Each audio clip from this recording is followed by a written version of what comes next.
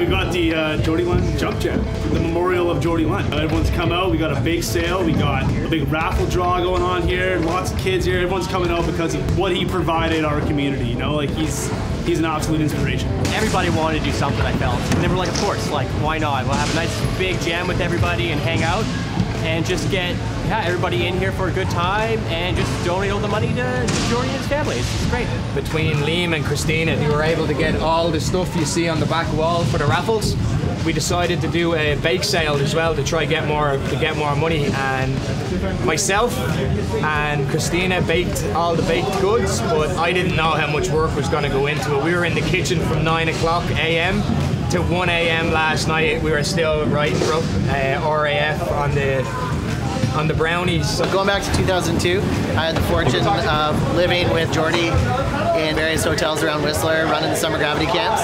He literally is my favorite person, I think, in the world. He's one of those guys that rubbed off on me in ways that I wasn't even sure of. He just never gives up. He never gives up. I think we're gonna miss him. We're gonna miss everything about him. He's just an awesome bike rider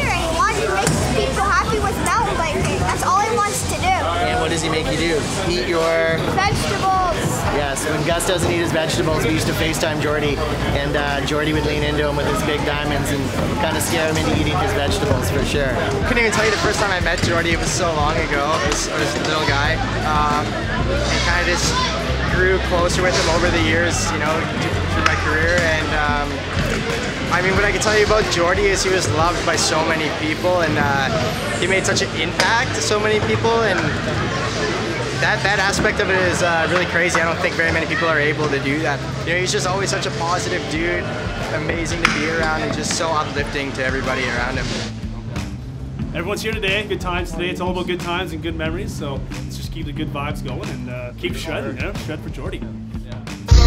Reminisce on, on, on. Reminisce on, on, on.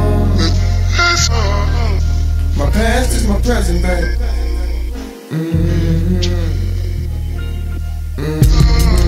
Make decisions to glow. Ridiculous flow, potential to glow. You know, I, I just do that. Consolidate my regions, line it up, put them together. Anyone that ever let me down, forget them forever. My memory's bad. Remember me, thong? My memory's gone. My memory, it limits me home. No tree huggers, cause all the lumber's gone. And it's knocking on wood. Pass through the hood when it's good and they chopping up wood. Breaking up stems till in my brim. With a limp like a pimp, though I'm shaped like a wimp. They put no fear in him, it's just me and the end of my timeline. Flow like a fine wine, smelling like fine pine. Yeah, is this the end or just the beginning? Am I losing or winning? Is this reality or am I pretending? I'm Cain and Abel, I murdered my brother cause I'm able. Murdered myself because my alter ego's so unstable. You get that? If you didn't just sit back, then crack this six pack. I should be in the gym doing sit ups, trying to get this six pack. But forget that, where the click at? Where the bras and the cash and the whips at? Where the bit back? Where the bop, where the bit, bit, bit back? I just did that. Trying to focus on my get back, my get up, my re up, my rematch. A patch of seeds and Apache debris passing through Indian Springs in Las Vegas, my G. Bumping Nirvana in Nevada. My favorite word is medulla oblongata. Just doing what I gotta. Is this the end or just the beginning? Am I losing or winning? Is this reality or am I pretending? That was poetry, huh?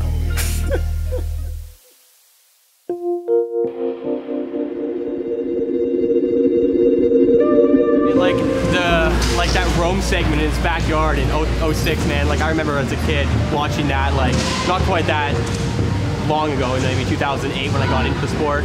I was like, yeah, he was always around. He was a cool dude. He was doing stuff nobody else was doing. He had like such a fun attitude to the sport where he would just go out if he wanted to do something. He'd have these great visions and we just do them and get it done. Jordie's style is like really gnarly and raw and super skinny, so everything he wanted built was just, you know, rake it, shovel it, and we'll ride it. Like there was landings I built for him, and he's like, no, don't, don't, don't, don't touch it. I th- I'm just gonna ride it like that. Yeah, rough, he wanted it rough AF, man. Yeah. I mean, Jordie was like a professional rider ever since I was a little, little kid, you know what I mean? So, just raw, like, OG free ride. The landings aren't like, it's just gnarly. I, I don't know how to explain it. Raw as f- everything from these new videos and uh, just riding down trees. That's something that probably none of us mountain bikers have ever thought about. Jordie's the only one to think about that, so it's, it's crazy. And I have even a poster of his tree ride on my um, door. yeah, you do, don't you? There's not very many people that could have rode that out, is there? No. No.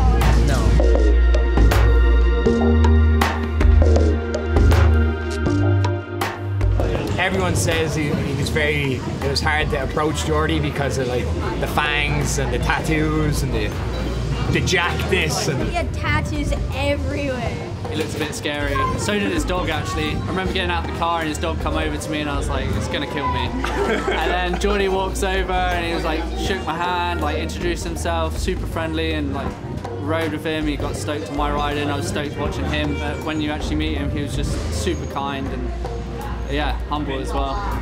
walking by and he's doing press ups while his dog's sitting beside him, you know. But he was a massive teddy bear, and it's uh, he was a really really good guy to know. Good guy to uh, set your mind right and make like just. And his legendary status gave you some positive reinforcement. Just a guy taking that time out to talk to you, you know, like he'd give a child his age the same amount of time as he'd give a, a man my age the same amount of time, you know. He was just a genuine dude, his heart was in the right place. You could feel it being around him, you know. He just made people want to be there and do whatever he wanted, like do whatever it was, you know. I think the biggest thing, the biggest takeaway about Jordie is that no matter who you were, what your scene was, he made it okay to be that person. And I think that's funny. Like in the mountain bike hustle, all of us find each other, right? Like there's a lot of like-minded people. Like if you look at Jordie as the fact he was actually a gift, then it makes perfect sense to see the impact that he had on people, right? Because if you look at our crew, like nobody's really that normal. Like we kind of all have our things, and uh, no matter what that was or how hard it was, it always felt all right to be uh, to be that person when Jordie was around. Maybe because he took ownership of all the all the weirdness. Like he was always the weirdest dude in the room, and uh, I think that gave everybody else permission just to be who they were and uh, not worry about any kind of judgment. Like I think that's if, if anything, if Jordie could leave anything behind, I think it would be just take people for who they are and don't judge them until and just get to know them. Jordie as a person was king of the stoke. He'd always get you stoked. And if you were in your own head, he was the first man to pull you back out and tell you that it's not about being serious, it's about having fun. Hang with the boys, have some labs, and then you'll find your where you need to be. Can't believe the amount of people that turned up today. It's packed house, so uh, it's so awesome to see all the love and support. I mean, yeah, just impacted so many clearly. Everybody getting together to, you know, talk about or just like have a good time Within two days to get this going and to see the turnout is amazing. It warm, warms your heart.